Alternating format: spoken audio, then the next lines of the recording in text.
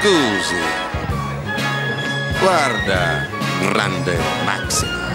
Magnifico. Studio Grimaldi. Fantastico.